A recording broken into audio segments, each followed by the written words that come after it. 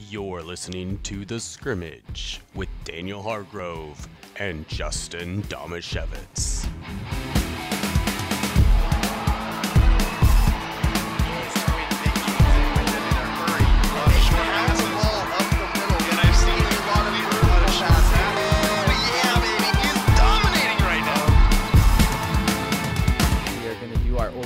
Real Estate Athlete of the Week.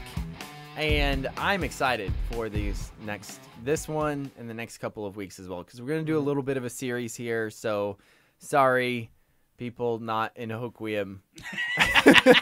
You're not sorry. I know why Daniel's excited. Yeah. Uh, the next three weeks are three of my uh, favorite kids to cover when we were covering a lot of basketball. This is this was kind of like from the area, the era that we were at like the height of covering mm-hmm. basketball games together, which was a lot of fun on the radio. After that, then you had to go do newspaper stuff, and it's Well, it because fall apart. like it fell work, apart. You ruined it. work gets in the way of all the things I want to do. Yeah. The team of realtors at Oly Pen Real Estate wish you and your family good health during this stay home, stay safe time. Their team has health and safety measures in place to protect you and everyone involved in the process. If you're thinking about selling your home, now is a great time. There are more buyers than available homes. Many homes are still receiving multiple offers and are selling for above asking price. Oly Pen Real Estate will help you put the most money possible in your pocket in less time without the hassle. Visit sellmyharborhome.com to get your home market ready. The Oly Pen team is ready to work for you. So our only Penn Real Estate Athlete of the Week this week is Jace Varner, who played for the Hoquiam Grizzlies, and we are looking at his basketball career there. And really, first and foremost, want to say that this kid maybe was maybe was my favorite player of this team to watch. And he didn't quite get all of the publicity that the other two guys on this team did. When we broadcasted, we tried to give him every ounce of credit we possibly could. yes, because he well, and the thing was, is we looked at it. I remember thinking, man, he does all the little things right. Every single basketball IQ play that he could make, he did make. He was always in the right spot. For their senior season, was their big guy, and he wasn't that big, and mm-hmm. yet you saw him absolutely work big guys in the paint. Just with athleticism. Yeah, athleticism and smarts and Yeah. knowing how to control the glass even without being the biggest guy in the court. And Justin, I say that thinking, yeah, he didn't score as many points as everybody else. He was still Hoquiam's fifth all-time scorer when he was done. He's the number 5 all-time scorer at Hoquiam. And your normal thought was, yeah, he's probably the third option.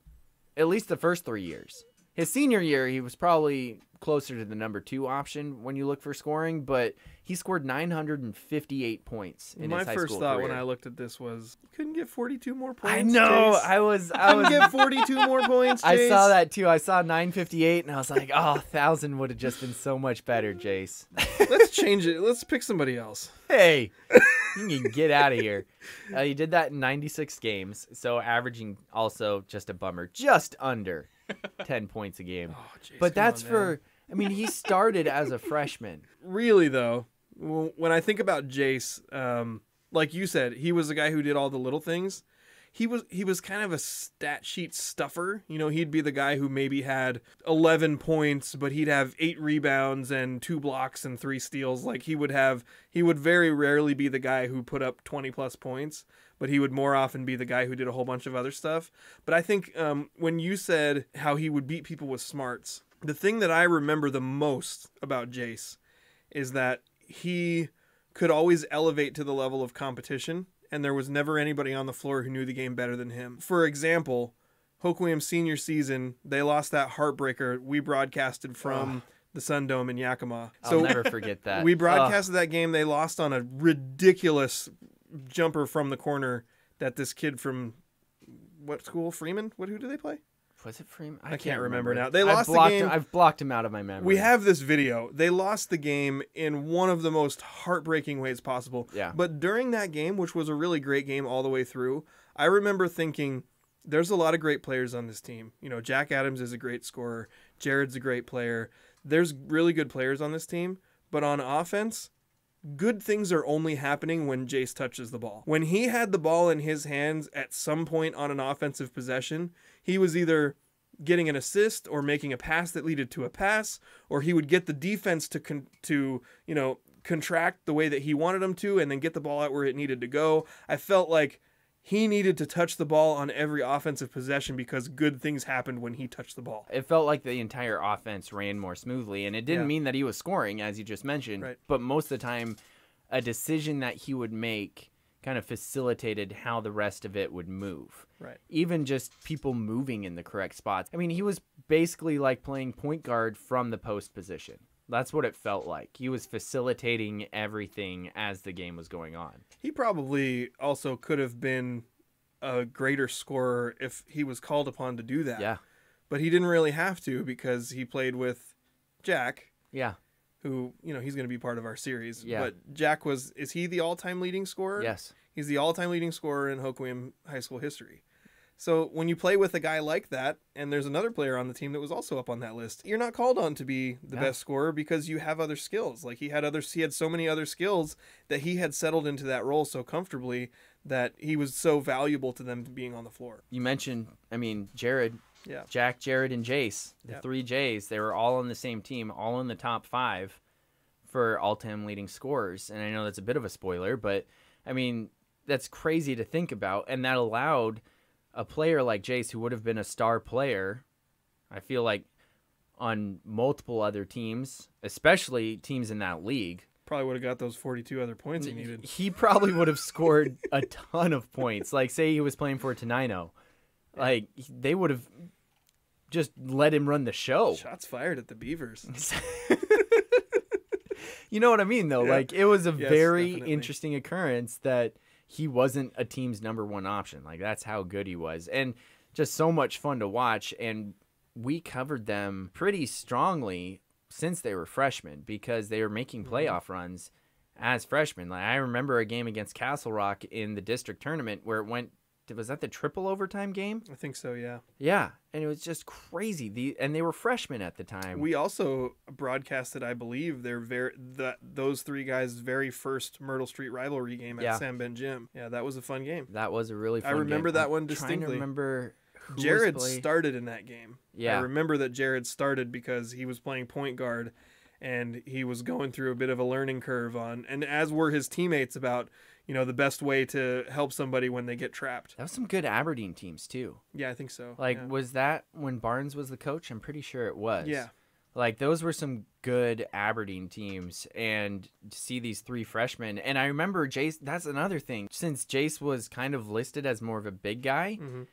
as a freshman, he was even smaller than. I mean, like I already mentioned, he's not a super tall for a big guy at that level, and yet I still remember him coming in as a freshman in that game and being like, "Okay, this kid needs to play." Mhm. Like he might be outsized at this point, but you could see it that they were better even then when he was on the floor as a freshman that year. And it's not like it's a Hoquiam program that hasn't had talent to where you have to throw freshmen out on the floor. Yeah. No, they got on the floor because they were good. Mhm. It wasn't because there was just a, la- a void of talent in the in the classes in the classes ahead of them. Th- those were good teams. You know, we covered the teams that we followed into the playoffs more. Like that's just what happened. We'd split it up pretty evenly throughout the regular season, mm-hmm. you know, covering both Grizzly girls and boys, Bobcats girls and boys, Elma, Monty. But the teams in that era when we were covering a lot of basketball, I mean, you looked at Hoquiam's boys and Monty's girls. And we got to know, I feel like we got to know those team, teams and programs really, really well because we went on these long trips Mhm. following them around where it wasn't as much about covering both teams like we would do, you know, when Yeah. Hoquiam's playing Aberdeen. We're covering both teams. Mhm. But when we go on the playoffs, it's we're covering this team. And those were just amazing memories watching those playoff games against, you know, these crazy teams and we could you know, I already mentioned once on this show, I like being a homer, and it was a lot of fun in the playoffs Yeah. when I'm following both Hoquiam and Monty and, you know, I can get into the game and it probably I'm not sure if it helps the broadcast to be honest because I probably get too emotional. No, I think people like it. like especially like watching gosh, a couple of different emotional experiences. One watching the Jordan Spradlin senior year Mhm. play against Lynden Christian. That was really tough for me for us to watch because we were watching it happen again. And it was brutal. And then the other one you already mentioned it, Hoquiam losing in that buzzer beater at the Sundome. I apparently somehow we lost the recording of that game at the radio station, which is horrifying to me because like it was this class of kids and it wasn't just Jace, Jared, and Jack. It was also Zach Spradlin Mhm. and Anthony Nash. Nash, Yeah. and I mean, and uh, Ryan Espidal. Yeah. And it's these kids that we got to know, and they all made And huge contributions throughout probably- that season. They're probably that class of Hoquiam kids. There probably wasn't another class of kids that we had covered more Mm-hmm. over the entirety of their high school career. Exactly, because we we got to know a big group of them when they were freshmen, and then a couple more were added as Mm-hmm. Yeah. sophomores. And by the time those were juniors, I mean, we followed them on a state run when they were all juniors too. They made it to the Sundome two years in a row. I'll never forget Ryan Espidal's behind the back saving the ball from going out of bounds, and Elma playing against the Center Yeah. that went right to I think it was Jace. Yeah. perfect pass for a lay-in, you know, and you're just looking at him like he's a magician. But that game was brutal because you saw the slow start. You knew that it was just miserable, and yet they were the better team. You knew that they were the better team. They clawed their way back, and then finally they took the lead. And you were like, oh, thank goodness they overcame it. And you just had the feeling they were going to win. And then when it was snatched out, like, I'm I'm pretty sure I yelled no. We were. Like- you did. Yeah, like just on the broadcast, just Yeah. shot goes up. No, like we, what uh, just happened? man, this can't happen. You know, Daniel, we've broadcasted a lot of games together, a lot of basketball games together. That was the only time that I can ever remember that you were so devastated that I had to talk. Like, you went, no! And then you just stopped talking. And I had to explain what had happened Yeah. and, like, pick up the broadcast for you. Like, you were legitimately, emotionally devastated Yeah. by that loss. it was brutal. Yeah. Like I'm gonna full let my grizzly show here. that was You're a grizzly? yeah, that was brutal. Like, Yeah. be- and it was because of the relationships with all the kids that we had garnered up in, in, in that point. Like, I felt it so much more than just a random basketball team. I feel like you're getting liked. sad thinking about it. I am. Can you tell? anyway, I digress. Jace Varner, Holy Pen Real Estate Athlete of the Week. Congratulations on the highest honor you've ever earned. You just had to do it again. I got so devastated thinking about that game that I stopped talking. Happy to help out. Yeah, thanks, bro. No, Jace is, and the other thing is, Jace is an awesome guy who I still talk to when I see him around, and probably gonna. uh, He's going to school right now, but I would be shocked if he wasn't a basketball coach around here as soon as he gets the opportunity, and I think he'll be a great one.